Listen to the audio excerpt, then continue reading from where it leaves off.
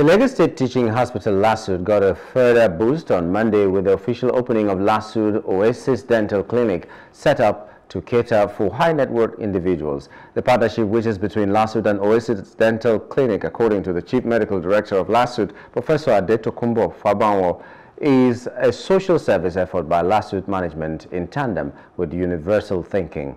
He stated that the Alternative Partnership Dental Center is a facility created to meet the growing demand of clients who seek exclusive, private and expedited dental services. In various the whole world has realized that government institutions cannot provide everything that they need to make healthcare work.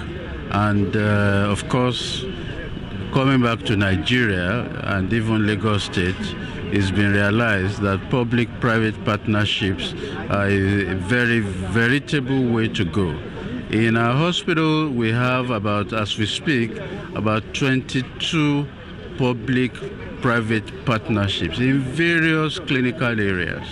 So this is just an addition to our long list of public-private uh, partnerships. Professor Fabanwo saluted Professor Tuoyo Okoturo, the head of the Dental Center in LASUTH and his team for their hard work in conceptualizing and planning the project. Also speaking, the CEO of Oasis Dental Clinic, Dr. Babatunde Olujobi, represented by Frederick John, thanked LASUTH management for the collaboration and restates the commitment of the center to bring the best possible healthcare services to patients. Now, what has happened here is that Massachusetts has invested billions of naira to provide ultra-modern equipment, dental chairs and x-ray machine and other equipment. You know, we provided the space and we are going to provide the expert personnel to work here. So that is the partnership. So they are bringing on board the equipment, all right, we provided the space, we are going to provide power, we are going to provide water, we are going to provide the patients, the clients, and we are also going to provide the personnel. So it's a well balanced partnership. We understand that access to quality healthcare is a fundamental right.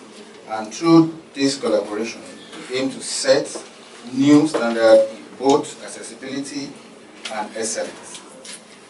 Our team of dedicated professionals is ready to offer highest level of care, ensuring that each patient receive personalized, compassionate treatment.